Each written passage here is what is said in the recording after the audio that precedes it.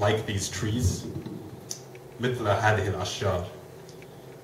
الأشجار حريصة أن تتمايل دون أن تسقط لأن الأشجار الساقطة ها هنا لا تتلقاها الأرض لا شيء ولا أحد ولأنها أشجار لم تعد تحتمل عفن الجذور لأنها اختارت أن تنبت في الريح عليه أن تدفع الثمن. وأن تسقط بلا نهاية. وعليه أرجوك وأنت تتمايل على الأرصفة أن لا تسقط لأنك أيضا ستسقط بلا نهاية. لا بأس إن تخيلت أشجارا تتمايل معك وهواء يتلقى سقوطك. أنت الذي عشت مثل هذه الأشجار بلا أرض ولا جذور.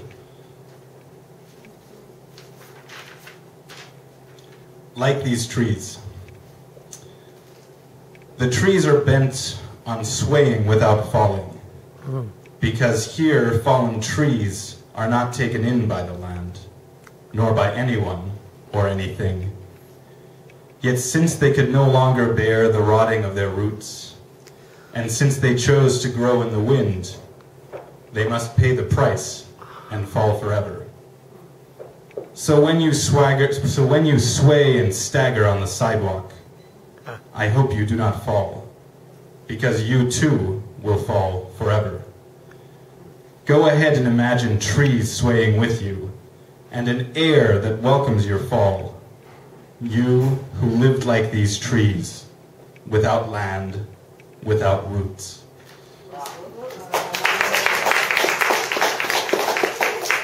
Wow Read three more short ones by him. This one has an English title. Uh, it's called Reserved. Switches gears a little, little bit of a shift in tone from the last one.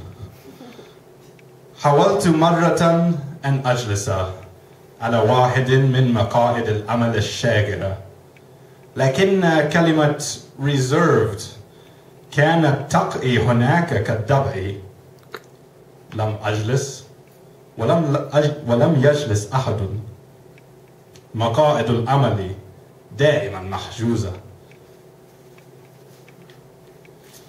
reserved once I tried to sit on one of the vacant seats of hope but the word reserved was squatting there like a hyena I did not sit down no one sat down the seats of hope are always reserved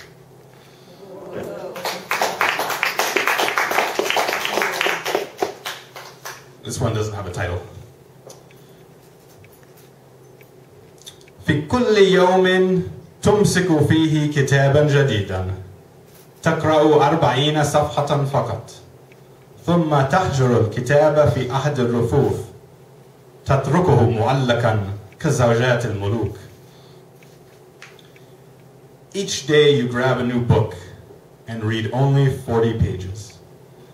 Then you abandon the book to one of the shelves. You leave it hanging like the wives of kings.